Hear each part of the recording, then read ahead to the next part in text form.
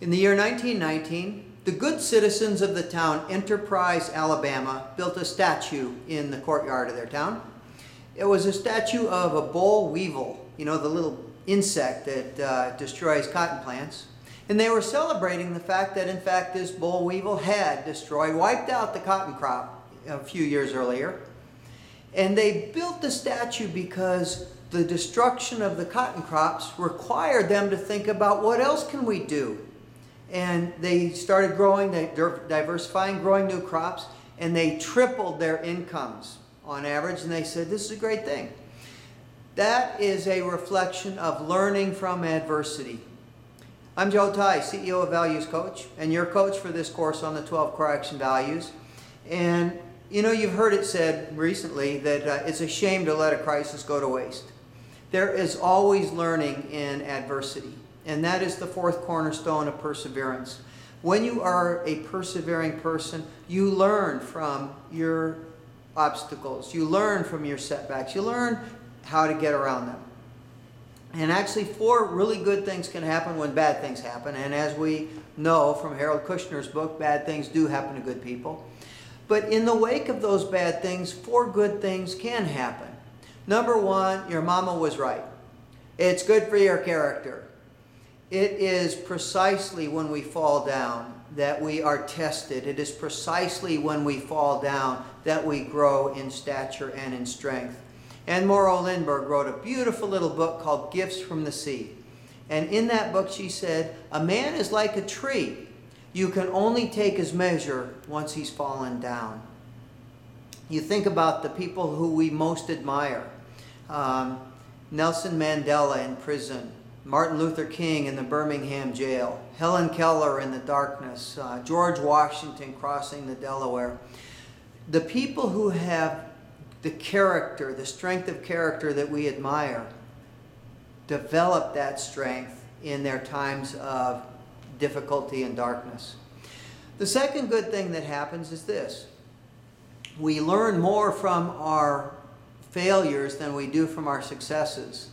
You know, when you're successful at something, you want to pat yourself on the back, say, I did that right. And you know, very often, you know, what comes to mind to me is the dot com millionaires who thought they had reinvented business, that making money didn't matter anymore. Now it was eyeball contacts or whatever the heck they were measuring. And of course, we know now that the rules of business are pretty brutal, pretty real, uh, pretty unyielding, and unforgiving. And a lot of those dot com millionaires um, went out of business. Now, the ones who learned from their mistakes, who started new businesses without the, all the chrome and the granite, and they focused on getting the job done, uh, those are the ones who today are reinventing the internet 2.0, 3.0, whatever point oh we're on. The ones who didn't learn aren't. Third good thing that happens is this very often, when you fall down on your face, when the door slams in your face, that is when you open new doors. You know, it is almost a cliche, a proverb that uh, the people who lose jobs within three or six months or nine months, whatever it takes, they're saying it was the best thing that could have happened. And why? Because that opened the door to a new job. That is what forced them to have the courage to start the business they've always been tar- talking about starting. It is precisely when the door slams in your face that new doors open. And I think the fourth and sometimes the most important and miraculous thing that happens is precisely when you're flat on your back that you meet the people who are most important to your life, to your growth, your spiritual development. Some of my pro bono work is with support groups, and I love spending an evening with a support group. And you know, these are people who have real problems. They have cancer, they have head injuries, they're dealing with, struggling with addictions. These are people who really have serious problems.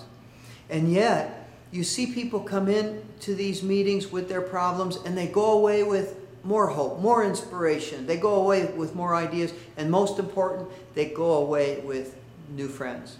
And some of the people that I've gotten to know, their best friends, their most important connections in life have come precisely because of a shared diagnosis of cancer, because they together stood in front of a room full of strangers and said, I'm Joe, I'm an alcoholic, or whatever it is. Um, and if you keep your eyes open, the universe will send people to you, the people you need to know, the people you need to meet at those times when it appears most hopeless. What do you do when bad things happen to good people? One important thing you can do is make sure you're asking good questions. Instead of why me, uh, ask yourself, what's good about this? Ask yourself, what can I make happen from this? Ask yourself, who do I know who's gone through this problem before? Who can give me some advice and some good suggestions? Ask yourself, if everything worked out exactly right, exactly perfect, and five years from now I look back and said, this really was the best thing that could have happened, what would it look like? Actually, when I um, lost my job and started what is now Values Coach, that's one of the exercises I went through. And it was a long haul through some roller coaster up and downs we went through. But having that vision of what would it look like is one of the things that was like a flywheel on a car. It kept giving me momentum. And now I have a vision of what it'll look like in 10 years. I don't know how we're going to get there. I really don't. But I have a very clear picture of what it will look like. One last thing before we wrap up on perseverance. I've talked about quitting and not quitting. Um, sometimes, you know, I wrote a book called Never Fear, Never Quit. And sometimes people will say to me, well, you know, you told me not to quit, so I can't quit smoking. And really ridiculous things. To say never quit doesn't mean don't stop. Sometimes when you learn what's not working, you stop. If it's not working, you stop. You try something else.